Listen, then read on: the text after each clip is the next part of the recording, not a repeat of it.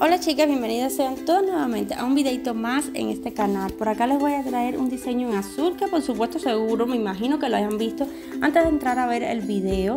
Les voy a poner el paso desde cero, cómo es que lo hago.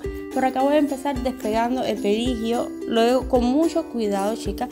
Ella no tiene, ella no tiene la cutícula tan débil, pero ni se crean que más o menos. Lo que pasa es, yo creo que no es que la tiene tan débil, sino que se la muerde mucho. No sería débil, sería sensible la piel. Ella se la se muerde muchísimo, ya pueden ver las uñas. Entonces eso hace que tenga todos los pellejitos comiditos, tiene muchos paraditos y tenía que cortarle eh, pues ese exceso de, de.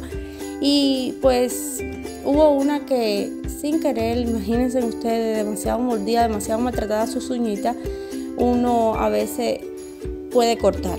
Así que como siempre les digo, tengan mucho cuidado a la hora de hacer este paso. Ahora sí, chicas, este, les voy a poner cada uno de los pasos, cómo fue que hice el degradado, cómo todo, todo, todo, en fin.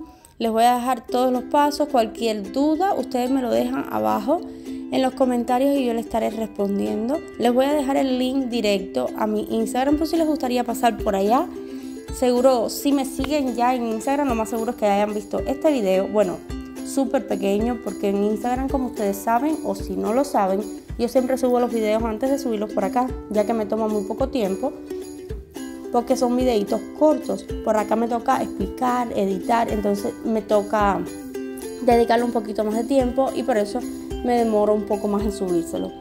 Pero bueno, siempre se lo subo por acá para darle toda la explicación, para que ustedes vean bien cómo es que se hace, ya que por allá más bien lo que pongo son pasos, eh, dos o tres pasitos, no mucho más.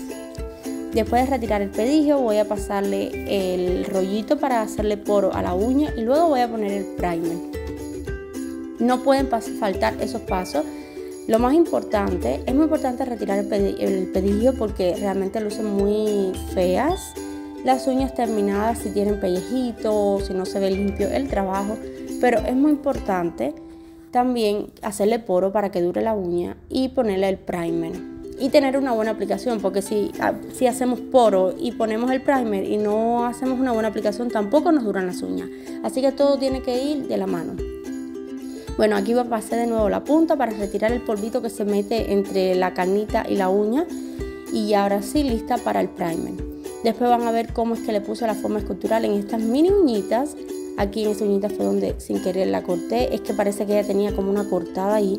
Despegué el, la cutícula y cuando la retiro pues estaba más sensible y fue por lo que pasó. Pero tenía que quitársela porque se muerde hasta los dedos y lo que pasa es que tenía los pellejos muy paraditos chicas. Pero sí, la recomendación mía es que tengan mucho cuidado a la hora de cortar la cutícula. Y bueno, pues aquí ya vamos a empezar. Estoy poniendo los acrílicos, por eso ve que me demoré un poquito.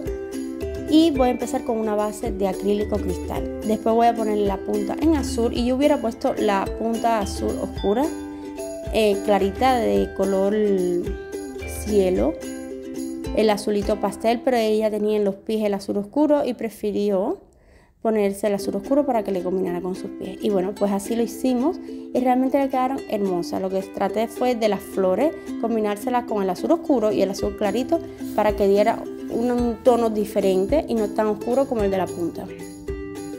Ahora sí, no la molesto más, no les hablo más para que ustedes se puedan concentrar. De esta forma pongo las formas esculturales. Las formas son marca Venus y la pueden encontrar en Amazon. En Amazon es donde yo las compro.